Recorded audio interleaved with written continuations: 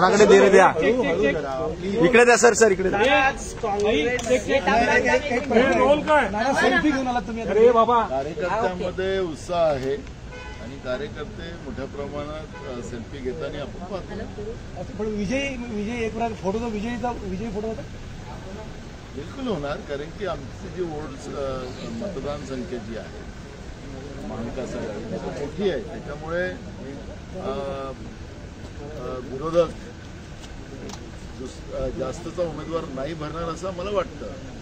तरी तरी सुद्धा झालं तर तो सामना करायला आम्ही तयार आहोत. आणि या निमित्तानं मागचा बदला घ्यायला आम्हाला संधी मिळेल. सगळे आमदार उपस्थित दिसले नाही. आमची उद्या सीएलपीची मीटिंग आज आम्ही सहज बसलेलो होतो. उद्या आमची साडेनऊ वाजता आमची सीएलपीनी मीटिंग बोलावलेली आहे. त्यामुळे सगळ्या आमदारांना व्हीप जारी केला गेलेला आहे.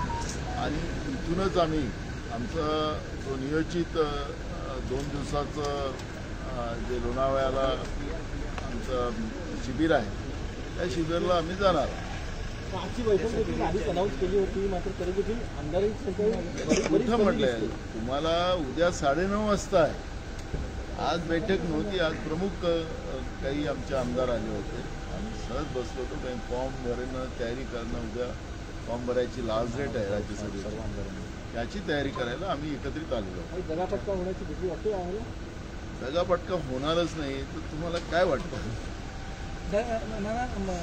चंद्रकांत अंबेड यांना उमेदवारी काँग्रेसने वेगळ्या प्रकारचे दलित कार्ड दिले असं म्हणतात. आम्ही दलित कार्ड नाही म्हणत आम्ही शोषित पीडित जी लोक आहेत त्यासारखे लोक आहेत ते समाजासाठी त्यांची बांधिलकी आहे. लोकांसाठी काम करण्याची क्षमता आहे. आपण पाहिलं असेल की चंद्रकांत हांडोरेजी सामाजिक न्यायमंत्री असताना त्यांनी प्रत्येक शोषित पीडित समाजासाठी प्रत्येक जिल्ह्यामध्ये आंबेडकर भवन तयार केलं. आज आपल्याला त्या इमारती सुशोभित इमारती प्रत्येक जिल्ह्यामध्ये पाहायला मिळतात. मागासवर्गीयांच्या मुलांसाठी मोठे मोठे हॉस्टेल निर्माण करून दिले. त्यांना शिक्षणाच्या व्यवस्था निर्माण केल्या. छोटासा छोटा जो कुठल्याही ज्या स- दलित समाजामध्ये मागासवर्गीयामध्ये अनेक जाती आहेत. त्या सगळ्या जातीच्या लोकांसाठी सांबार असेल तर त्याला त्याच्यासाठी उद्योगाची व्यवस्था केली. मांग असेल त्याच्यासाठी व्यवस्था करून दिल्या. आणि त्यांना मुख्य प्रवाहात आणण्यासाठी त्यांना उद्योजक बनवण्यासाठी केलेला प्रयत्न हा चंद्रकांत हंडोरे साहेबांच्या सामाजिक न्याय मंत्रिमंडळ मंडळाच्या याच्यामध्ये याच्यामध्ये हा महाराष्ट्र कधीही विसरू शकत नाही.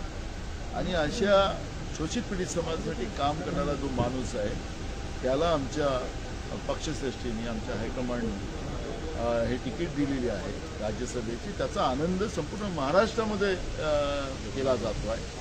आणि मी मगाशी सांगितलं की आम्हाला आयात करावं नाही लागत. घरं फोडून नेते चोरावं नाही लागत. आमच्याजवळ सामान्यातले सामान्यात काम करणारी लोकं आहेत. आणि ज्यांनी आयात केलेली लोकांना तिकीट दिली त्याच्याबद्दलची चर्चा काय? भाजपचे जे दरी उचलणारे कार्यकर्ते अजूनही दरीच उचलत राहतील. आणि अशाच लोकांना संधी मिळेल असा त्या संदेश भाजपने दिलेला आहे. त्यामुळे त्यांनाही शुभेच्छा. मला भाऊ भाजपकडून ऐनवेळी आणखी एखादा उमेदवार देऊन राजकारण केलंच पाहिजे. मी सांगितलं की मागचा बदला आता आम्हाला घ्यायचाच आहे. आणि यावं मैदानात. नाही, मैदानात यावं. त्याच्यामुळे आम्ही त्यांना म्हणतो ना मागच्या वेळेस जे काही झालं त्यावेळेस आता येऊ द्या पण ते करणार नाही. आणि ते करूही नाही त्यांनी. हा चॅलेंजचा भाग नाही आहे.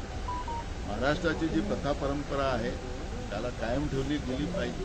असं आमचं मत आहे. ते करणार नाही असं म्हणताय म्हणजे ज्या पद्धतीने चंद्रकांत हंडोरेंची उमेदवारी जी आहे यांच्या जागावरती दुसरा कोणी उमेदवार असं त्यांनी डेअरिंग केली असं त्यांना वाटतं वाटतं दलित वर्ग नाराज होईल म्हणून एक चौथा उमेदवार हा मुद्दा तुम्ही चंद्रकांत हंडोरे साहेबांना दलित म्हणून तुम्ही कशाला हीन होताय? ते सामाजिक न्याय मंत्री असताना त्यांनी केलेलं काम. हे त्याच्यातलं महत्वाचं आहे. बहुजनांसाठी काम करणारं व्यक्तिमत्व आहे. असं त्यांना त्यांना एक लिमिटेशन करू नका. आमच्यासाठी चंद्रकांत हंडोरे हे बहुजनांसाठी काम करणारं व्यक्तिमत्व आहे. त्यामुळे तुम्ही चेहरा त्याला फक्त ते लिमिटेशन करा. आमचा जो लिमिटेशनवाला नाही आहे. आमच्याकडली नेते मंडळीमध्ये सगळ्यांसाठी काम करण्याची क्षमता असलेला हे व्यक्तिमत्व आहे आणि त्यांचं कर्तृत्व त्यांच्या कामाच्या निमित्ताने त्यांनी महाराष्ट्राला दाखवून दिलेलं आहे. त्यामुळे एका जाणत्या माणसाला महाराष्ट्रातून राज्यसभेमध्ये पाठवून महाराष्ट्राच्या या मागासवर्गीय समाजाचा आवाज उचलण्यासाठी आम्ही त्यांना पाठवतो आहे त्यांना न्याय मिळवून देण्यासाठी कारण की देशामध्ये आज मोदीच्या सरकारने भाजपच्या सरकारने न्यायव्यवस्था संपवून टाकलेली आहे. सामान्य जनतेला पिळलं जात आहे त्यांचं शोषण केलं जात आहे जीएसटीच्या माध्यमातून त्यांना आर्थिक शोषण केलं जात आहे सामाजिक शोषण केलं जात आहे आणि एक जाणता माणूस आम्ही राज्यसभेमध्ये त्याच्यासाठी पाठवतो तर राष्ट्रवादीकडून मात्र प्रफुल्ल पटेलांची टर्म संपलेली नसताना सुद्धा त्यांचं नाव पुढे करण्यात येत आहे काय कारण असं त्यांना तिकडे लोकसभा लढायचं होतं ते तिकडे आले. आता आम्हाला वाटलं की तिकडे लोकसभेला येतील. भंडारा गोंदियात आम्ही वाट पाहत होतो. आता ते काय त्यांच्या पक्षातला निर्णय आहे त्याच्याबद्दल मला काही प्रतिक्रिया नाही, पण आम्ही वाट बघत होतो की तिकडे ते मैदानात येतील. आता त्यांनी उलटा चमत्कार करून टाकला. आता जाऊ द्या त्याच्याबद्दल आज काय करायची पाटलांची त्या तिकडे तिकडे तब्येत खालावत चालली आहे. मात्र सरकार कुठे लक्ष देत नाही. हे सरकार धोकाधडीचं आहे. लोकांना धोका देणं शब्द देणं आणि त्याच्यावर धोका करणं. दोन हजार चौदा आता आपण दोन हजार चोवीसमध्ये आलेलो आहोत. गेल्या दहा वर्षाच्या पहिले यांनी राज्यात आणि केंद्रात वरतं नरेंद्र आणि खालतं देवेंद्र हा नारा देऊन धनगर समाजाला फसवलं त्यांच्याशी धोकाधडी केली. दोन गोवाऱ्यांना फसवलं त्यांच्याशी धोकाधडी केली. कोळी समाजाला फसवलं त्यांना आश्वासन देऊन त्यांना फसवलं मराठा समाजाला फसवलं. आणि अशी धोकाधडी करण्याची प्रथा परंपरा यांची राहिलेली आहे. आणि अं, एक मुख्यमंत्री त्या ठिकाणी जाऊन त्यांनी जे आश्वासन त्यांच्या गावात दिलेलं होतं ते नेमकं का दिलेलं होतं ते अजूनपर्यंत सांगत नाही. जरांगे पाटील रोज सरकारच्या विरोधात ओढत्या लोकांमध्ये असंतोष आहे. आणि कायदा सुव्यवस्था राज्यात बिघडत चाललेली आहे गृहमंत्री झोपलेले आहेत दुसऱ्याची घरं फोडायला निघालेले आहेत. आणि वेशभूषा बदलवत आहेत. एवढंच आहे. त्यांच्याच ते सांगत होते की मी वेशभूषा बदलून जात होतो. असं त्यांनी सांगितलं मी नाही म्हणालो तेच म्हणालो. तर म्हणून अशा या वेशभूषा बदलणारी जी मंडळी आहे त्यांची सत्तेत बसलेली आहे ते राज्याचं तीन त्यांनी केलेलंच आहे. त्याच्यामुळे या सगळ्या प्रकरणामध्ये दरांगे पाटलांचं जे काही अवस्था आता आज झालेली आहे मी तुमच्या चॅनलवर पाहतो आहे ती भयावह आहे.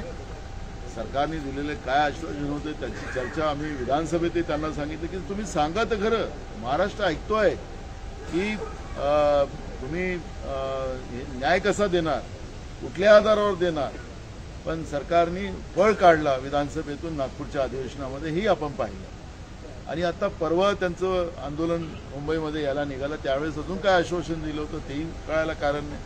त्यांना गुलाल उधळायला लावला त्यांना बँड वाजवायला लावले आता यांचा बँड वाजवायला लागले आता ते निघालेले आहेत सरकारचा.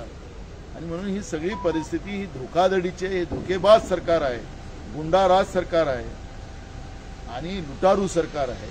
या सरकारचं तसं कुठलंही काम नाही. अशोक चव्हाण यांनी लगेच पक्षप्रवेश लगेच उमेदवारी मिळणं म्हणजे पण मिळाली असेल. ठरला कार्यक्रम होता. फिक्स होती मॅच ठरला कार्यक्रम होता. तुम्हा लोकांना आनंद आहेत का? तुमचे सहकारी तिकडे जाऊन परत? अरे आमच्या लोकांना तिकडे एवढा मान भेटतोय ते खुशीच आम्हाला राहणार. धन्यवाद.